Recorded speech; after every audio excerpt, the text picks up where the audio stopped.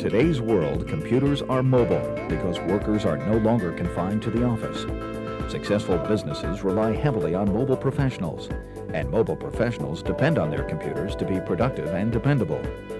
As mobile professionals start working in harsher environments, computers need to be tougher while also being reliable, especially when running mission-critical applications. With their release of the Toughbook, Panasonic led the industry in producing such a computer. At uh, Panasonic Computer Solutions Company, uh, we've been in business for over 10 years. And since day one, our goal was to provide and manufacture the most reliable uh, computing solutions in the industry. Panasonic specializes in computing solutions specifically made for those mobile workers needing to work in the outside world.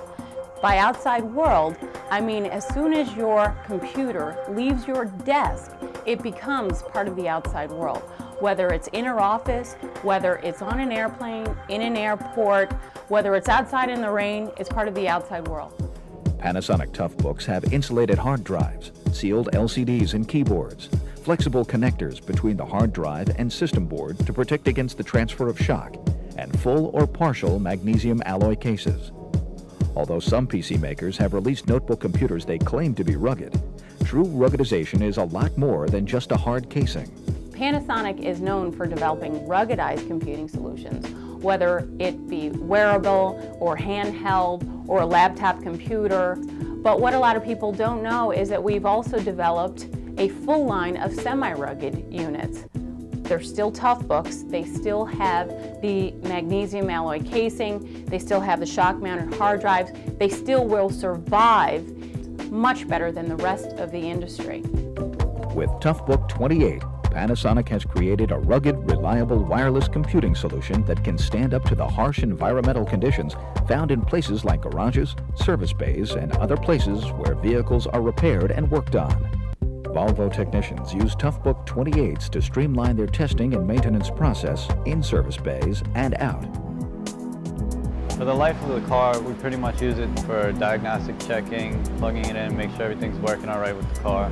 Um, it lets us, it gives us a lot more mobility than the past system does, as these big carts that we used to have. The Toughbook's a nice smaller laptop that we can just carry around, bring it to wherever the car is. Volvo has integrated Vadis, their proprietary software, to run diagnostics on the vehicles and do preventive maintenance. This diagnostic software is loaded into Toughbook 28, which is used in the harsh environment of service bay.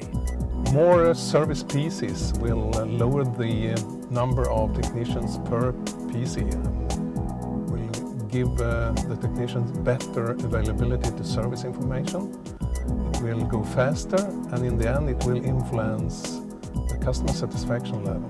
With the Toughbook 28, Panasonic provides the transportation industry with tough, reliable, cost-effective mobile computing solutions that use wireless LAN and WAN connectivity for real-time data transmission.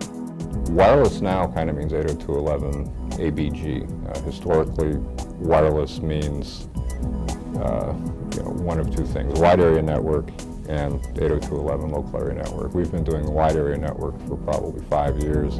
Um, you know, the computer is designed from the ground up around those options so you don't have funny software conflicts that you can run into when you plug something inside of the computer. Panasonic, with its Toughbook line, has proven to be on the cutting edge of technology.